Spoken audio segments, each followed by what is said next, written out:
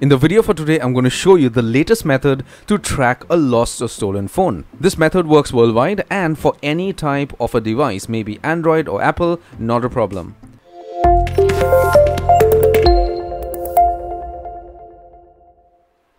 So let's make this simple, quick and easy so that we can try and get your phone back as much as possible.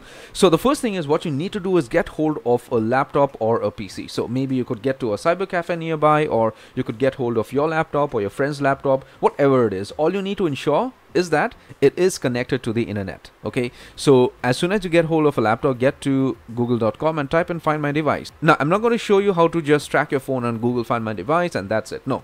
I'm going to show you a new technique with which find my device is utilized and you could get your phone back. There's a higher probability that you actually find your device. So this is going to be your first step obviously. Once you type that in out here find my device click on the first suggestion by google and this is going to take you to a page on which your phone is going to be traced on Google Maps live okay? All you need to do is just log in with the same email address which was on your Android device that was lost or misplaced. So Find My Device is only going to work for Android devices. So if you have an iPhone, not a problem. I'm going to show you also in this video itself how to track your phone. So just stick with me till the end. So once you have located your Android device through Google Maps on Find My Device, you could click on that specific icon out here. It's going to show you a pin. You could do that. And once you click on that icon, you're going to be directed to a page in which you could see the exact coordinates for your phone. You could also save this data on your PC or you could check for nearby places to locate the phone or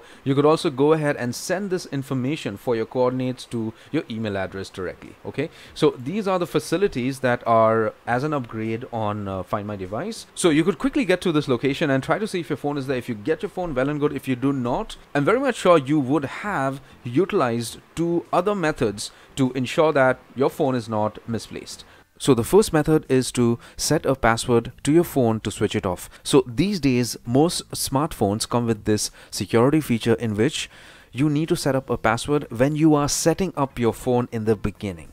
So what happens is that whenever your phone is misplaced or lost or stolen, if somebody tries to switch off your phone to make it untraceable, they are not able to switch it off and by the time you could actually track the device and you could get your phone back. Apart from that, another method to get your phone back is through security applications. So if you may have installed a tracking application like Hammer for instance, you could easily trace your phones. So through Hammer, there is a facility for a fake shutdown. So even if you do not have a password for your phone to shut it down, Hammer Security is going to show or do a fake shutdown whenever somebody finds your phone and tries to shut it down. So it's going to be a fake shutdown, but it is going to be online. So how this is going to work with Hammer Security app is that if somebody finds your phone and they switch it off, it's going to be a fake shutdown. It's not going to be a real shutdown, but it is still going to be online, but they are not going to realize it.